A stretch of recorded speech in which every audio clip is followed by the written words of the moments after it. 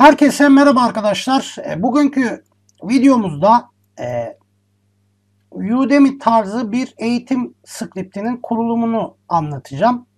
Skriptin ismi Model. Model.org adresinden e, bu siteye ulaşabilirsiniz.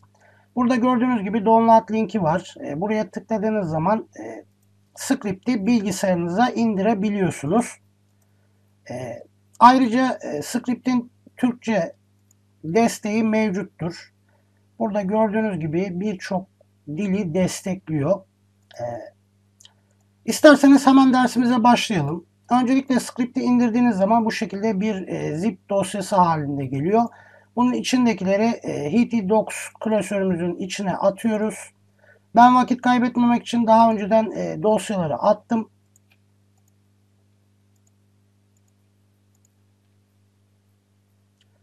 Localhost'umuzu açtığımız zaman bu şekilde bir e, panel karşımıza geliyor. E, buradan dilimizi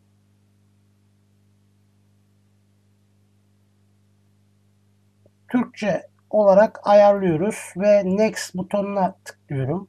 E, bir daha tıklıyoruz. Burada gördüğünüz gibi otomatik olarak e, URL adresini oluşturuyor. Buraya dokunmanıza gerek yok. Sonraki diyoruz. Buranın yüklenip yüklenmediğini e, burada gördüğünüz gibi dönen bir e, işaret var. Buradan anlayabilirsiniz.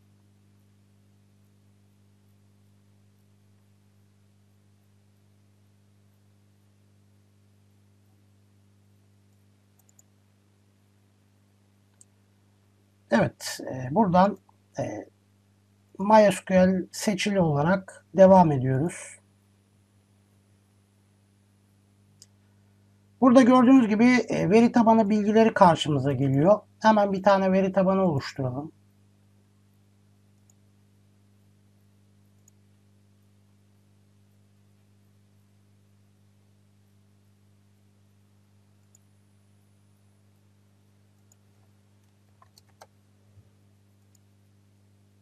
Buradan e, karşılaştırmayı UTF-8 Unicode C olarak seçiyorum ve oluştur diyorum.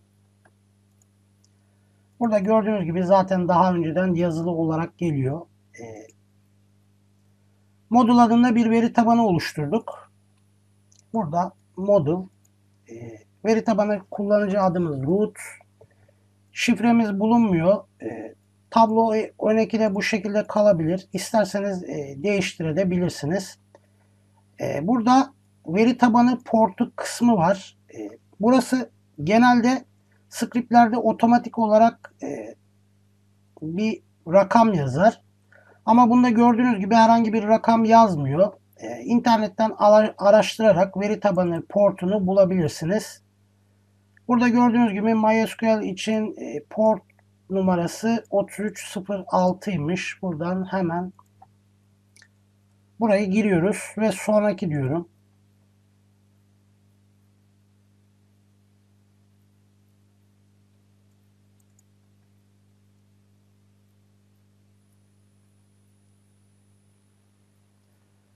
Evet, e, burada bazı telif hakkından bahsediyor. Tamamen ücretsiz bir şekilde kullanabiliyorsunuz arkadaşlar. Burada da zaten söylüyor. E, devam diyoruz.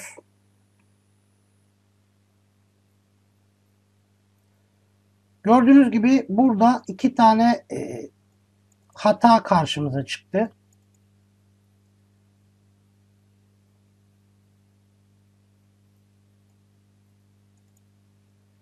Config PHP dosyasının içinde MySQL'i MariaDB olarak değiştirin diyor.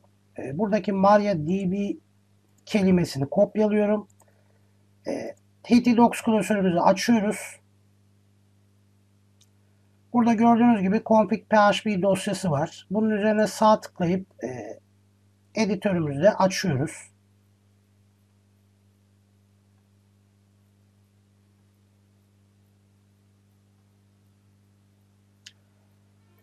Gördüğünüz gibi şu anda MySQL'liği seçili e, vaziyette. Bunu MariaDB olarak seçiyorum ve kaydediyorum. Bu arada e,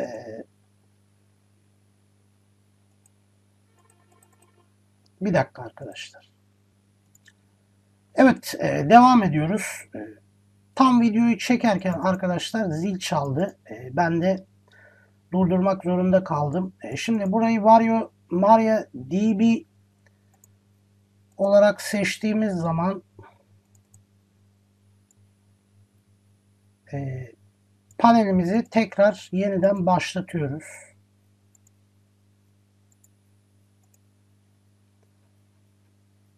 Burada e, tekrar yükle linkine tıklıyorum. Gördüğünüz gibi bir tane daha e, kırmızı bir hata mevcut.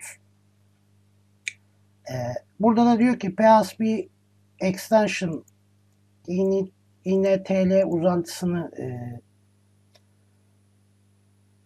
yüklememiz gerekiyormuş.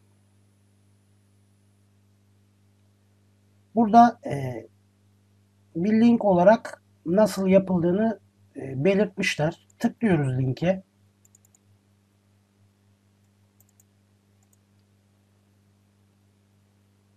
Gördüğünüz gibi İngilizce yazıyor arkadaşlar. Bunu Türkçe çevirebiliriz. Uzantıyı ekle, etkinleştirmek için genellikle PHP içinde bulunan PHP ini dosyasında şu satırı ekleyin diyor.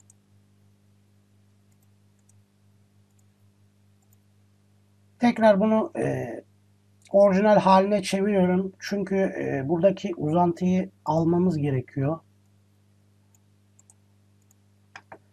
Şimdi bunu nasıl yapabiliriz? Diyor ki PHP klasörünün içindeki PHP ini dosyası. E, Heat exam panelime geliyorum. Burada e, config'e tıklıyoruz. E, gördüğünüz gibi PHP ini dosyası. Tabii buna tıklamıyoruz. Buradan e, PHP, browser PHP diyor. Buna tıkladığımız zaman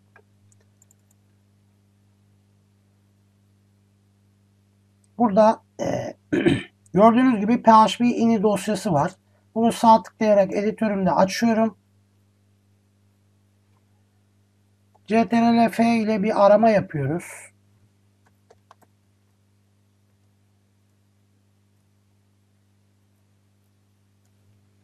Evet, extension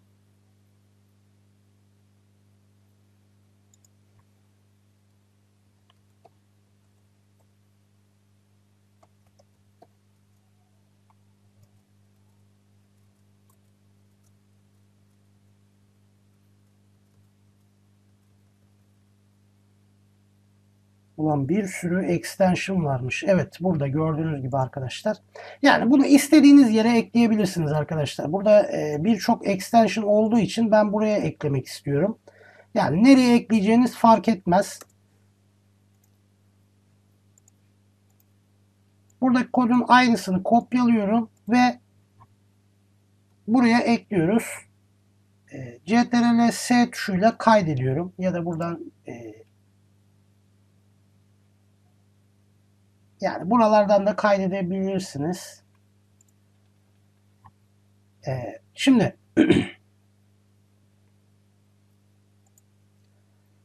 burada e, bir adım daha mevcut. Bunu da Türkçe'ye çevirelim. Buradaki uzantıyı bulun e, ve e, yanına EN UTF-8 şeklinde yazılacakmış. CTRL F'ye basıyorum. Uzantımızı kopyalıyoruz. Gördüğünüz gibi yanında hiçbir şey yazmıyor. Buradaki EN UTF-8 ya da 50 de yazabilirsiniz. Hiç fark etmez arkadaşlar. EN UTF-8 Gördüğünüz gibi soluk olarak gözüküyor. Bunları aktif etmek için e, bir tane başında noktalı virgül var. Bunu kaldırıyoruz ve kaydediyoruz. CTRL S ile bunu kaydediyoruz arkadaşlar. Ee, klavyeden CTRL artı S. Bazen e, arkadaşlar anlamayabiliyor. O yüzden burada gösteriyorum. CTRL artı S tuşuna basıyoruz. Ee,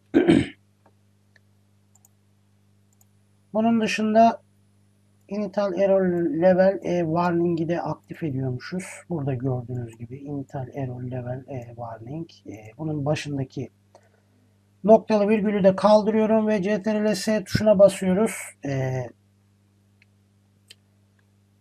şimdi e, bundan sonra yapmamız gereken tekrar yeniden başlatmak e, examp'ı.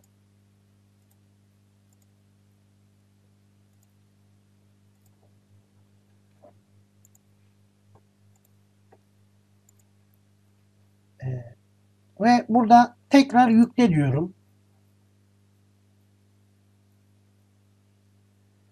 Gördüğünüz gibi burada bazı hatalar da mevcut ama bunlar önemli bir hata olmadığını söylüyor. Yani kurulumu yaptıktan sonra da bu hataları sonradan da giderebilirsiniz.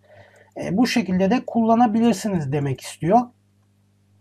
Gördüğünüz gibi PHP extension işte XML RPG diye bir e, özelliği de aktif etmemiz gerekiyor. E, şimdi yani bunlar olmadan da e, script çalışıyormuş. Önemli olanları ha hallettik arkadaşlar. Ee, şimdi buradan devam diyoruz. Gördüğünüz gibi zaten devam e, linki çıktı. Hosting'e kuracağınız zaman e, buradaki hataları hosting'i aldığınız destek ekibine de sorabilirsiniz arkadaşlar. Ee, ben genelde yapamadığım zaman e, hosting ekibine söylüyorum. Onlar e, bazen halledebiliyorlar.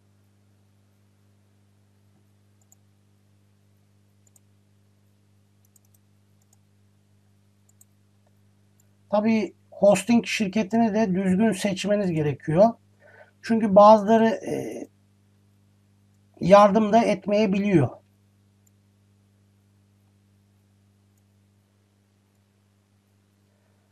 Ee, şimdi arkadaşlar burada kurulum e, yaklaşık 5-10 dakika sürüyor.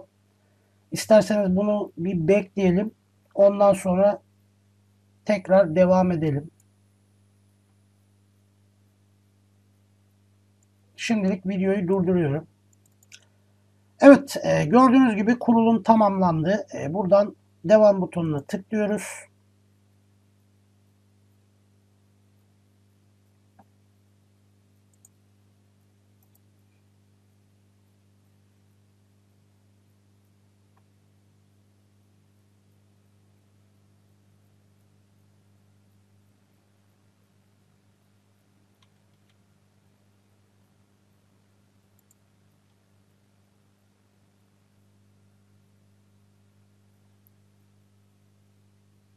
Evet. E, burada karşımıza e, site bilgileri geliyor. E, zaten burası arkadaşlar gördüğünüz gibi Türkçedir. E, kullanıcı adı kısmına isminizi girebilirsiniz. Burada e, şifre kısmı biraz önemli. Çünkü e, güçlü bir şifre girmeniz gerekiyor. En az 8 karakter olması lazımmış. Bir basa, e, en az bir basamak, en az bir küçük harf, bir büyük harf ve bir de yıldız ya da işte özel karakterlerden bir tanesini kullanıyorsunuz. Buradaki linke tıklıyoruz. Buraya şifremizi gire, giriyoruz.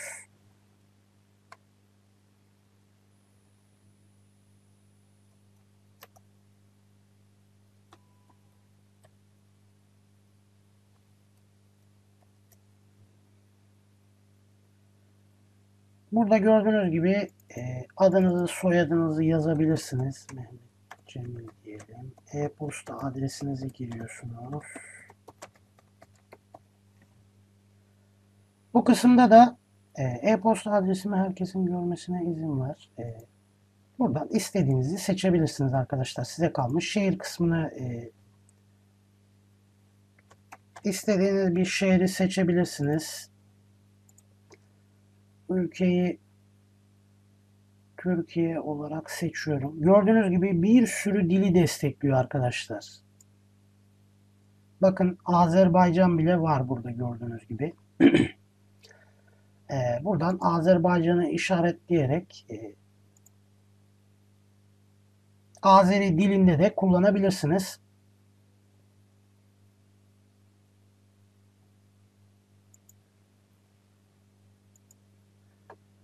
Buradaki sunucu zaman dilimini e, Berlin Avrupa.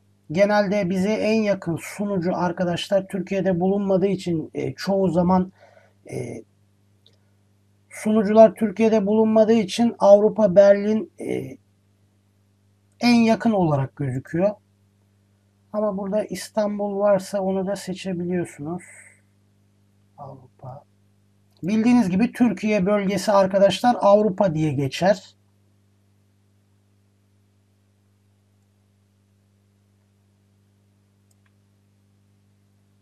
Gördüğünüz gibi Avrupa İstanbul yazıyor. Bunu da seçebilirsiniz. Açıklama kısmını yazıyorsunuz. Burada ek e, isimleri isteğe bağlı diyor. Profili güncelle diyelim.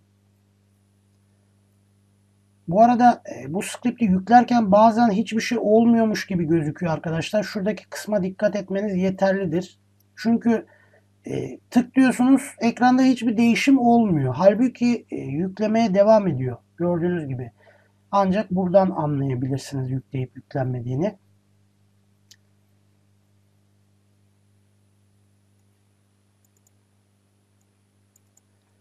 Tabii biz e, localhost'ta kurduğumuz için e, yükleme süreleri biraz daha hızlı gerçekleşiyor ama sunucuda daha yavaş olabilir.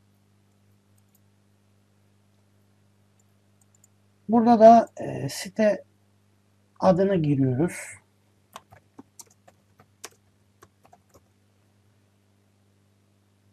Bu kısma sitenin açıklamasını girebilirsiniz. Buraya da özetini giriyorsunuz arkadaşlar. Burada Avrupa Berlin Burayı siz kendiniz değiştirirsiniz. Burada da üyelikte nasıl bir işlem yapacağımızı giriyoruz. E-posta temelli kendi kendine kayıt sistemini etkinleştiriyorum. Bu kısma giden e-postanın adresini giriyoruz.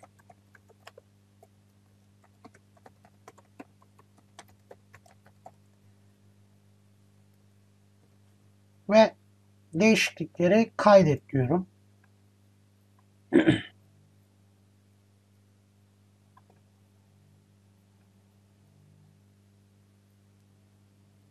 Evet. Gördüğünüz gibi arkadaşlar kurulum tamamlandı. Panel bu şekilde gözüküyor. Ee, şimdi Ders nasıl ekleyebilirsiniz isterseniz hemen onu da göstereyim. E, tabii bu script arkadaşlar Udemy kadar çok fazla gelişmiş e, bir script değildir ama e, işinizi görür.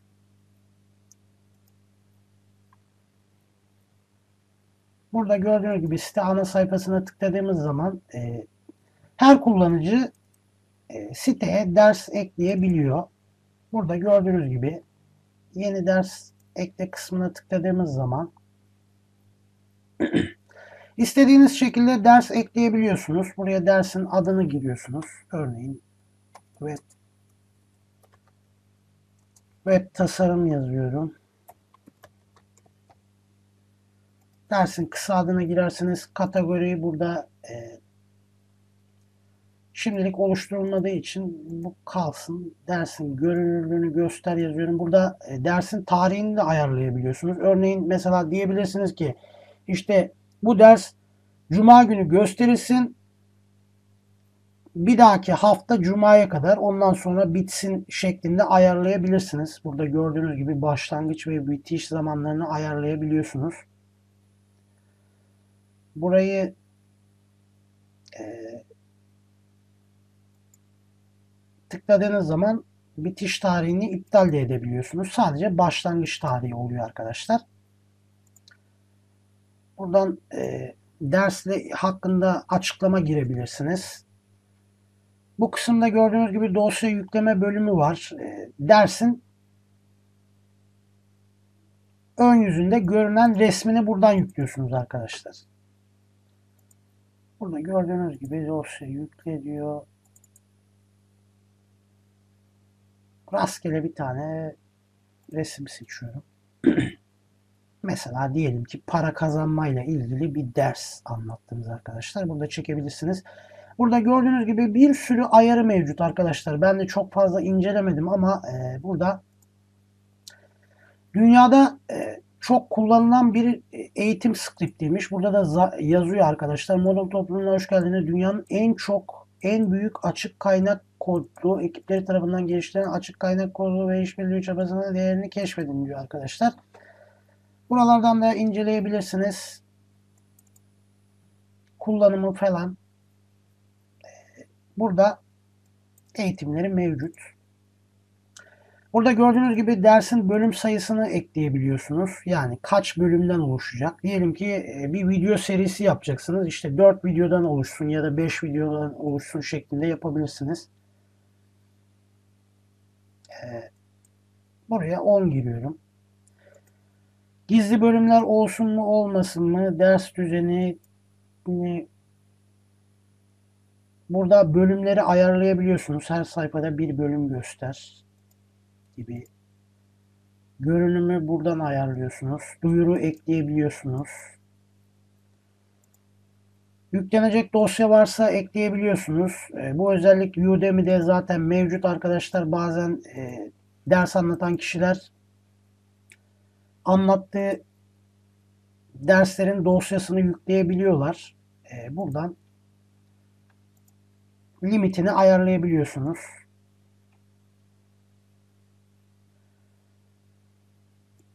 Tamamladığınız zaman burada dersi etkinleştir diye bir özellik varmış. Ee, kaydet ve göster diyerek eğitimi görebilirsiniz.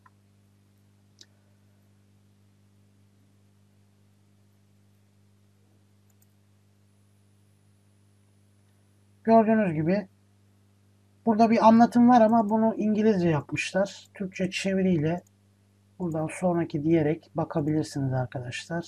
Ben şimdilik burayı geçiyorum. Gördüğünüz gibi 10 tane konu eklediğim için 10 tanesi gözüktü. Buraya tıkladığınız zaman hiçbir şey olmuyor.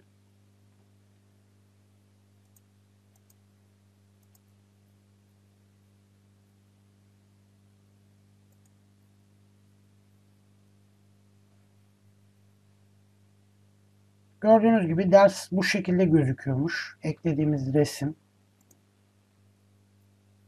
Bu konuların içine kendi anlattığınız videoları ya da işte yazılı bir anlatım yapacaksanız onları ekliyorsunuz arkadaşlar. Şu an bunu seçtiğim zaman düzenleyemiyorum ama daha önceden bir yerden düzenlemiştim onu.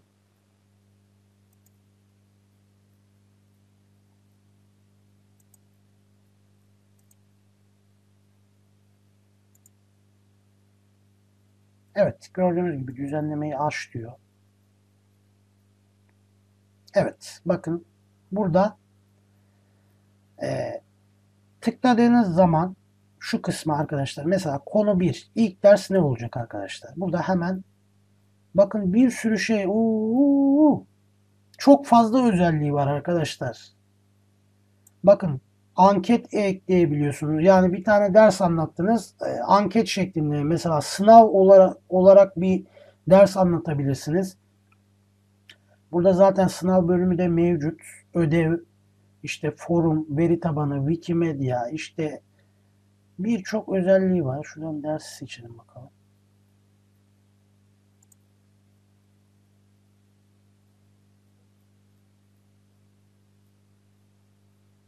Evet gördüğünüz gibi burada başlığını ekliyorsunuz. İlk dersimiz işte başlangıç olsun.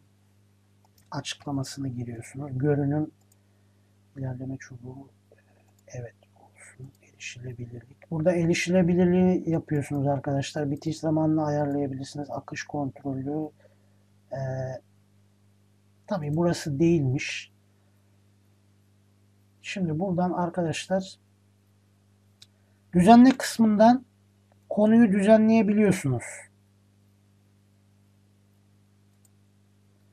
Yani mesela konuya ne ekleyeceksiniz bu kısma yazıyorsunuz. Diyelim ki ben bir tane video ekleyeceğim. Ya da bir tane ses kaydı da ekleyebiliyorsunuz buradan. Ee,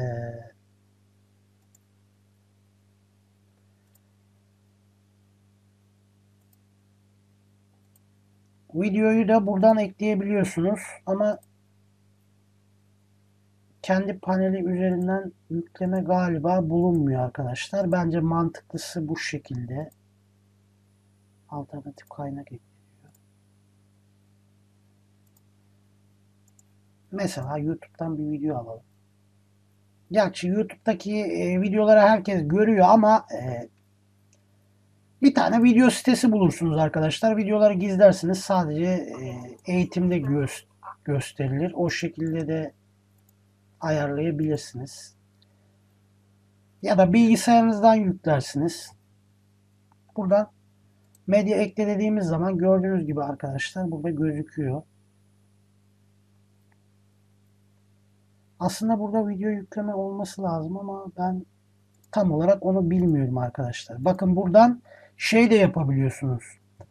Direkt anında canlı video ekleyebiliyorsunuz arkadaşlar. Kendi içinde yani bir video montaj programı gibi bir şey var. Mesela ben start'a bastığım zaman şimdi beni laptopun kamerasından benim ekranımı gösteriyor ve sesimi de kaydediyor arkadaşlar.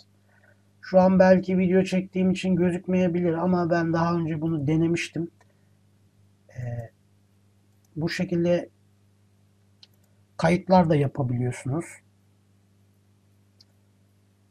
Buraları kendiniz inceleyip bakacaksınız arkadaşlar. Benim de çok fazla bir bilgim yok.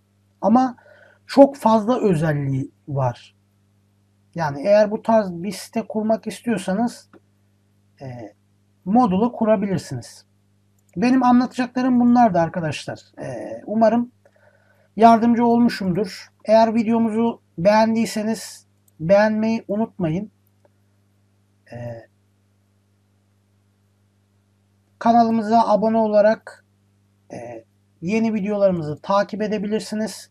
Sormak istediğiniz sorular varsa e, bu videonun altında yorum bölümünde bize yazabilirsiniz. Bir sonraki videomuzda görüşmek üzere. Hoşçakalın.